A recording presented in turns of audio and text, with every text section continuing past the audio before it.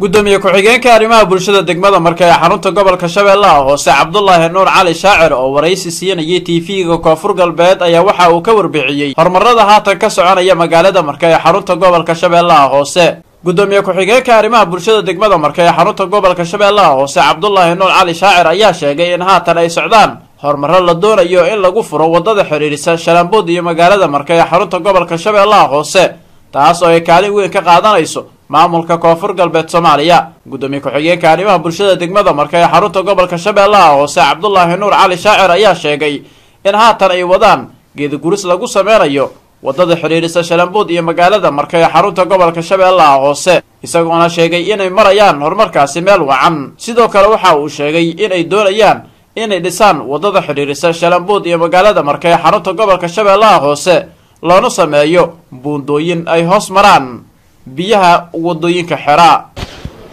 midda aad weydiisa hadda horumarada magaalada ka socdo waa tan iskuullada la dayactirayo waxbarashadii. Waa tan hadda geedihii la jaraayo wadadii baabuurta meel ay isku dhaafaan la waayo madaxweynaha maamulka koonfur galbeed u arkay ra'iisul wasaarihii dalka ugu sarreeyey u arkay wadda inaysan jirin xariirisa hadda shalaambood iyo maxaa la yidhahdaa iyo marka dadkii ku soo noqday ee guryahoodii daaxtirinayo ganacsigii oo sii yeel maqaayadihii oo dib loo furay dukaamadii iyo baqaaradii oo dib loo furay qof kastaba noloshiis wixii ay ku tiirsanaa jirtay uu ka shaqay jiray camalkiisa hedi. Ninkii maxaa la dhihi jiray labaajo ay ku shaqaysan jiray labaajadiis dib u furtay. Ninkii ku shaqaysan jiray boloketi boloketis dib u furtay. Waxaan rabnaa hadda iskuulaadii inaan dib aan u dayactirno. Maamuladii iskuulaadka inaan dib u soo celinno.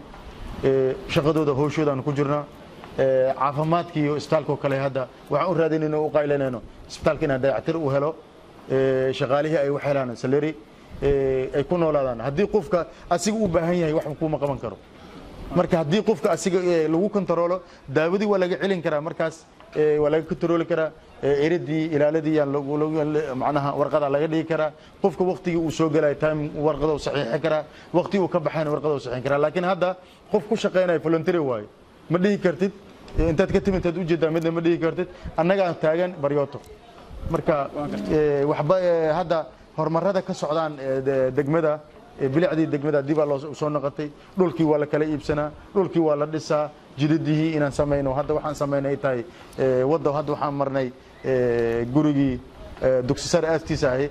Wadda oo muddooyinkan dambe colaadii ay xirintay oo dhulkii biyo ay jeexeen dadkii deegaanka deganayo dadka deganayo bulshada ahaaye iyo gudoomiye ku-xigeenka anoo ah gudoomiye ku-xigeenka arrimaha bulshada iyo gudoomiyihii gudoomiyaha waaxeedkii ka dhigay waaxdii horseed.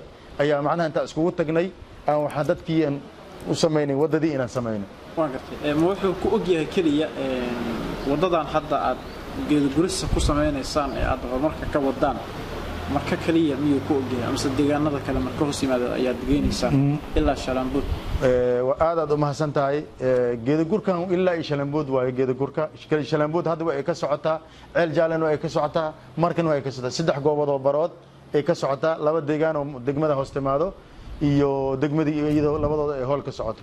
Waxaana xigo doono oo aan samayn doonaa aad aan ugu raji weynahay in hadda geedaha haddii la banneeyo xoogaa kadib haddana inaan saarnaho laame inaan saarno. Oo waddadii ay noqoto nadiif buundooyin iyo laame inaan saarno. Ayaan dowladda maamulka koonfur galbeed aan ka codsannay dowladda dhex aan ka codsannay in buundooyin waaweyn la helo oo hoostooda waadayaal ay biyahaas ay maraan aysan biyaha iyo qashankaas aysan celinayni iyo laame in la saaro oo waddadaas ay noqoto wadda nadiife midda kaloo labaad waxaan isku isku sheegnay in waddada aan bilaari doono magaalada ciddii cabarka uu qabto inaan macnaha ka jara doono oo maamul ahaan waddadan inaan weynay doono oo laba baawur afar baawur saddex baawur inay isku dhaafo doonaan.